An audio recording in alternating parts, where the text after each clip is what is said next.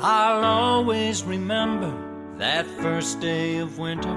You were just out of high school. I was 19. I was scared half to death when I knelt down and gave you that ring. We got married June 2nd at a small country wedding. Went away for a weekend to start a new life.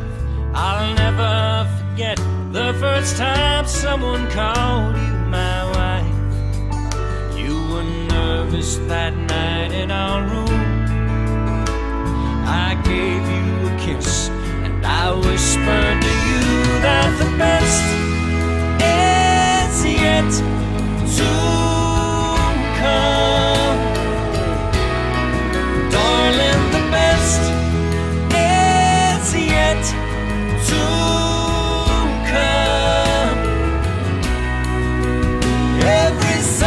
sunset reminds us to chase new horizons. Our journey is only begun, and the best is yet to come.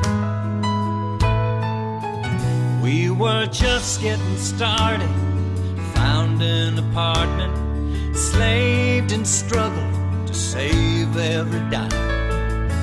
I used to worry about how we would ever survive.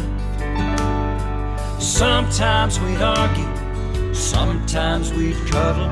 We both made mistakes, but girl, how we tried. When I lost my way, honey, I let your love be my guide.